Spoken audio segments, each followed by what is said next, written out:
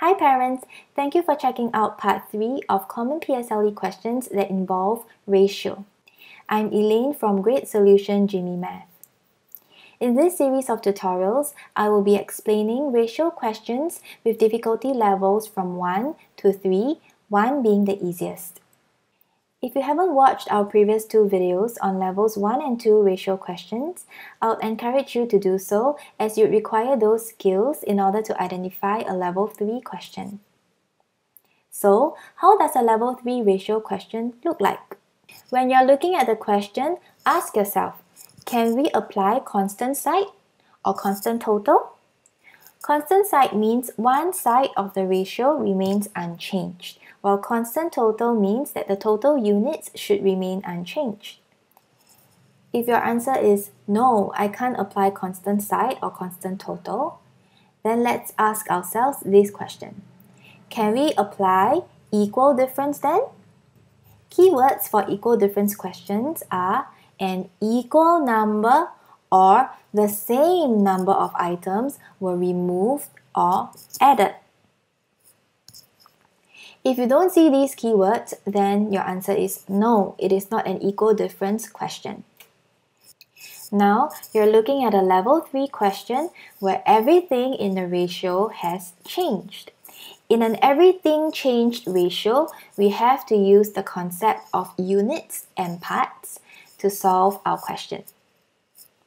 Now let's take a look at a level 3 question taken from Cedar Primary School prelim paper from last year and it is worth 2 marks. The ratio of the number of men to the number of women at the CC in the morning was 5 to 1. After 95 men and 15 women left the club, the ratio became 4 to 1. How many men were there in the morning?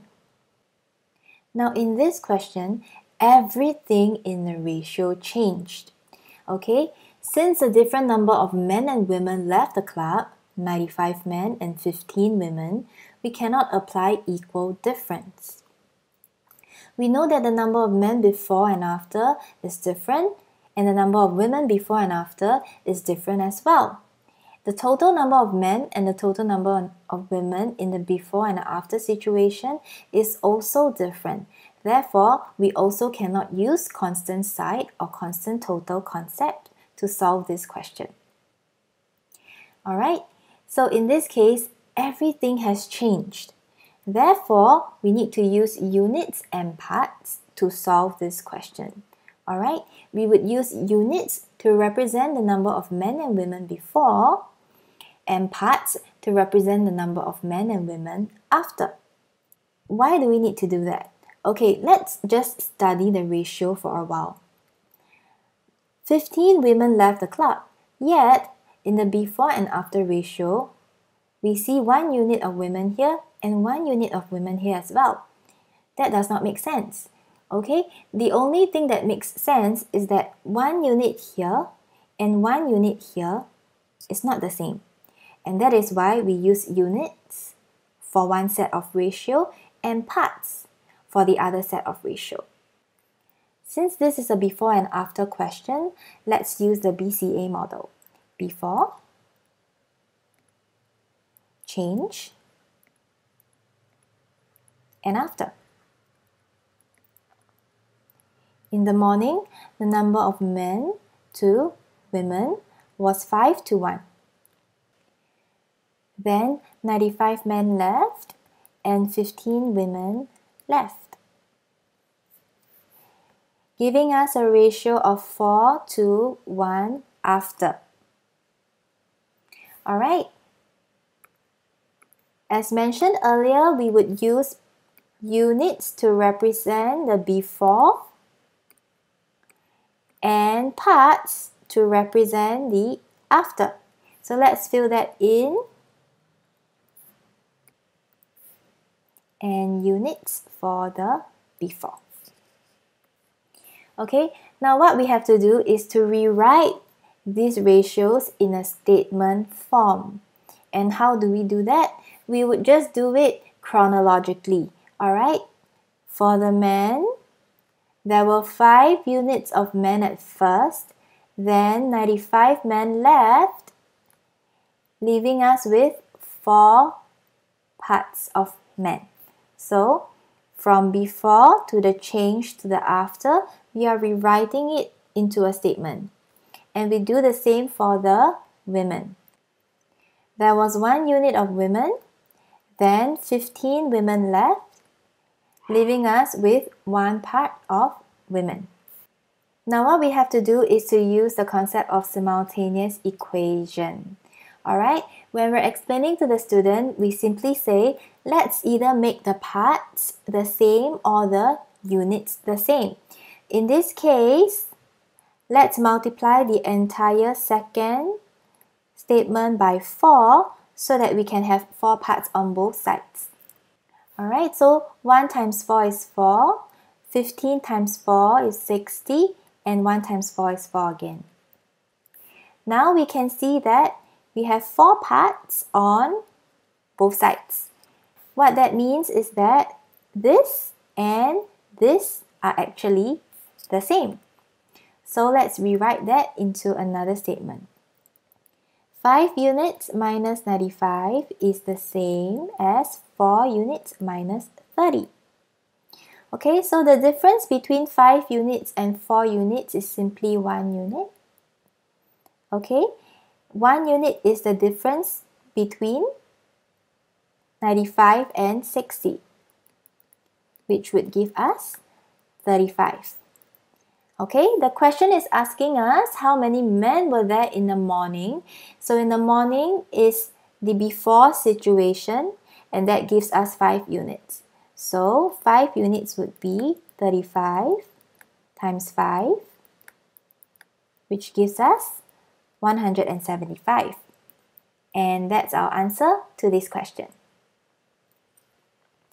Now let's take a look at another question where we have an everything changed ratio and we also have to apply the method of units and parts. This question is taken from ACS prelim paper from last year and it is worth 4 marks. The ratio of the number of marbles Ryan had to the number of marbles Audrey had at first was 2 to 7. After Ryan bought another 20 marbles and Audrey gave away 80 marbles, the ratio of the number of marbles Ryan had to the number of marbles Audrey had became 1 to 3. How many marbles did Audrey have at first? Now, in this question, we can also see that everything has changed. Alright? The number of marbles Ryan had before and after is different, and the number of marbles Audrey had before and after is also different. Therefore, we cannot apply constant side or constant total. How about equal difference? We can see that Ryan gained 20 marbles, but Audrey lost 80 marbles. So we also cannot apply equal difference everything has changed in this ratio. So we have to use the same method of units and parts to solve this question. Let's go ahead and use the BCA model again. Before, change, and after.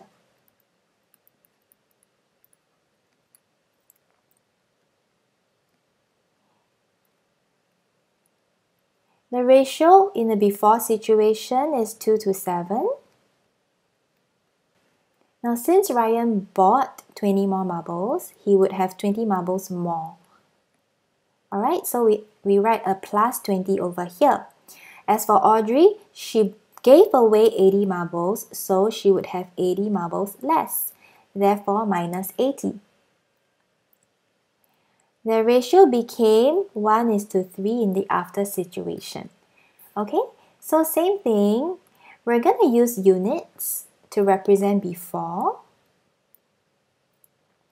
And we're going to use parts to represent after.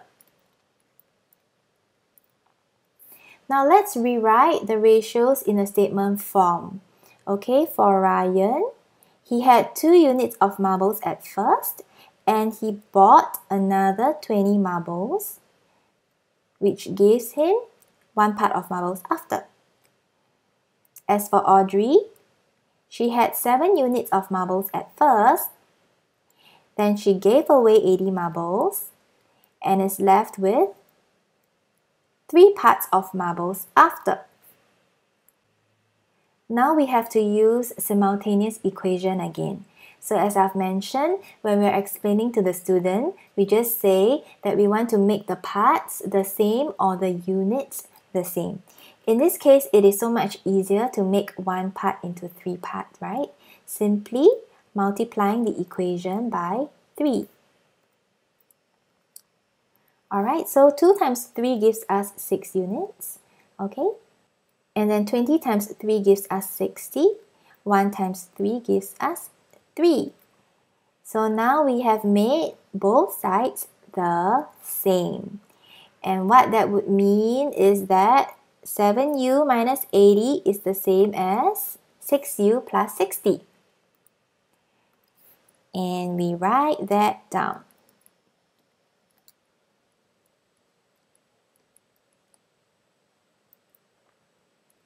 Okay, so the difference between 7u and 6u is 1 unit. Okay, now at this point, we know that when we change side, we have to change sign, right? So 80 minus 80 would become plus 80 on this side. Therefore, 1 unit is equal to 140. Okay, since the question is asking us how many marbles did Audrey have at first, Audrey has 7 units at first, right? So 7 units is equal to 140 times 7, which would give us 980. And that's our answer for this question. Now, before we end this video, I know you must be thinking about this part. Yes, in primary 6, right, the students have not learned how to change the sign when we're changing sides. So, how do we explain this to them? Because most students would actually use 80 minus 60. Alright, in this case, we need to draw a model so that they can visualize this concept over here. Alright? So now let's draw the model so that the student can visualize this concept much better. 7u minus 80. We simply draw a long bar. Okay, 7 units minus 80. So that would give us 80 here. And 7 units. Alright, so 7u minus 80 is this portion. Alright, so this portion here, 7 units minus 80, is the same as 6 units plus 60. Which means this portion here is also the same as 6 units plus 60. So we transfer this line upwards. Alright?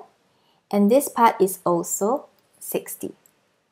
Now, since this bar is 7 units and this bar here is 6 units, alright, that would mean that this area here is 1 unit. Okay, and we can see that 1 unit is made up of two parts, 60 plus 80. Therefore, 1 unit is 60 plus 80 which is 140. So, if you're finding it hard to explain the concept of changing sign, what you can do is to encourage the student to draw the model for better visualization. I hope this series of tutorials on ratio has been helpful to you. If you have any questions for me or have any suggestions as to what kind of topics you'd like to see me explain in upcoming videos, please leave a comment in the comment box below. Also subscribe to this channel for more free tutorials.